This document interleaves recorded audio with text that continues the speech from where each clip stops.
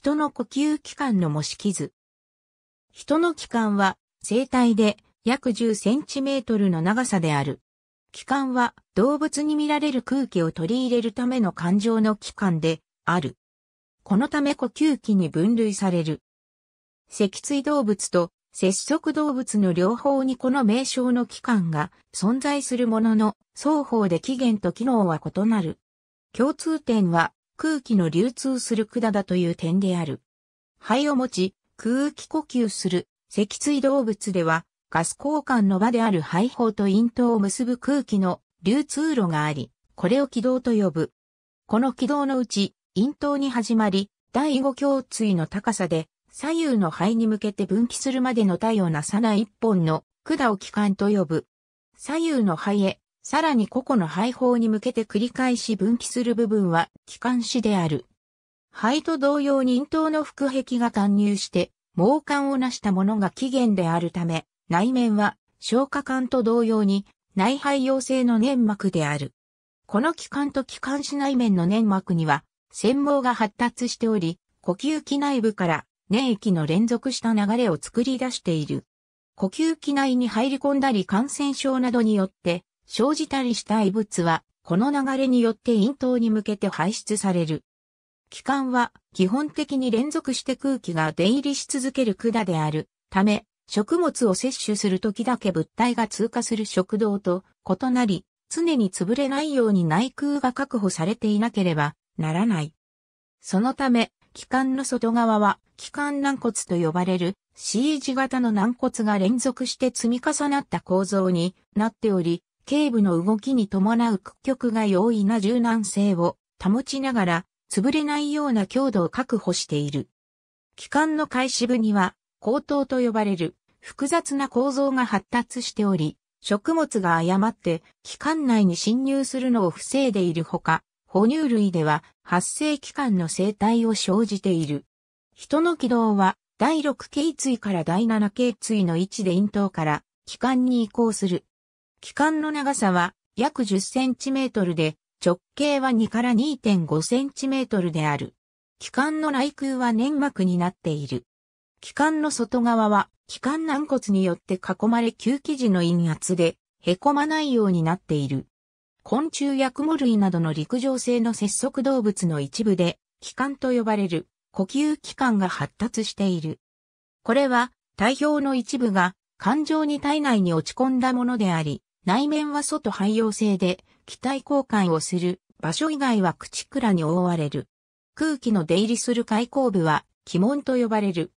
気管は体内で細かく枝分かれし、最終的に計1マイクロメートル以下の気管声だと呼ばれる細かい管になり、全身の組織に分布する。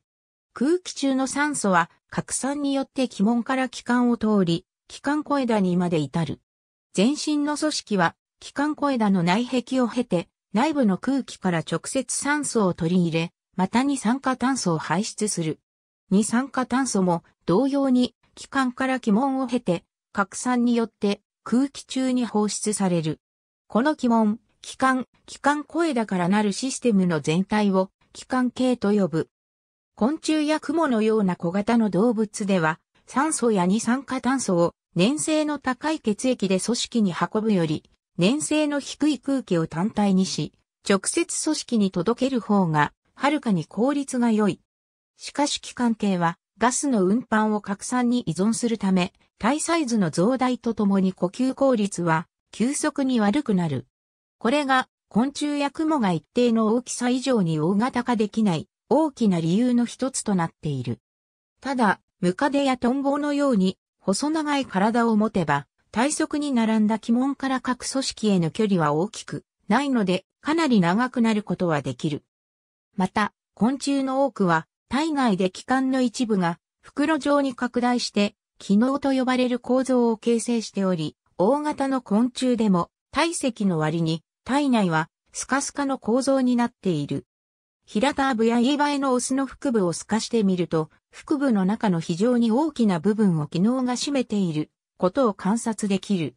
機能内の空気は腹部の運動によって拡散に頼らずに能動的に入れ替えることができる。活動中の足長鉢などが盛んに腹部を伸縮しているのは、機能内部の空気を入れ替えているのである。体内に広がった機能からは、体内組織まで比較的短い距離で済み、このことがある程度の大型の昆虫の存在を許しているとともに、飛翔などの高いエネルギーを必要とする活動を助けている。機能は飛翔性の昆虫の体重の軽減にも役立っており、またセミのオスの腹部のように体内に巨大な空洞を作り出して鳴き声の共鳴装置になっている場合もある。